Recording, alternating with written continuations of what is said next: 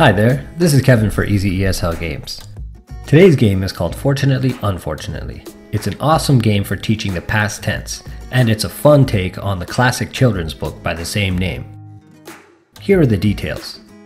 There are no materials required, you can play with between 2 and 10 participants, and a game should take between 5 and 15 minutes depending on the size of your class and their ability.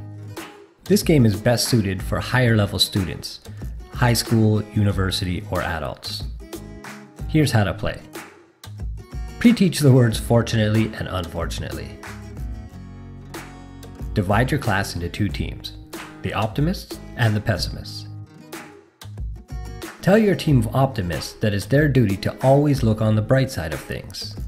They must begin every sentence with the word fortunately.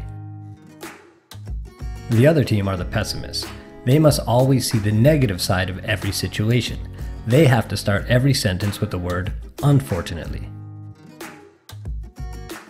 The teacher starts by making a random statement about something that happened earlier in the day. For example, I talked to a famous actor at lunch today. Then the optimists must expand on the story by adding an extra detail about talking to that famous person while using the past tense. Fortunately, they looked really cool. The pessimist must then follow up by adding a negative element to the story. Unfortunately, they smelled really bad. The process continues until one team cannot think of an appropriate response.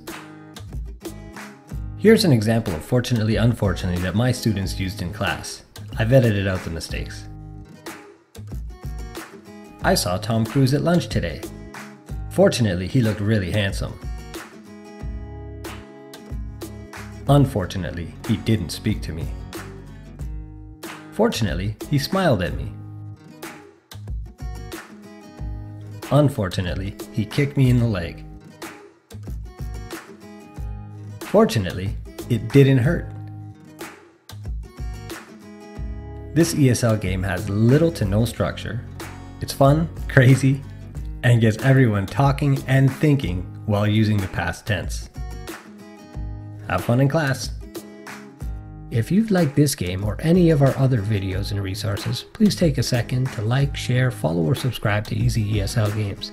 And if you have any questions about how you can apply this in your classroom, leave the question for us in the comments section. We'll get back to you right away. Thanks. That was easy.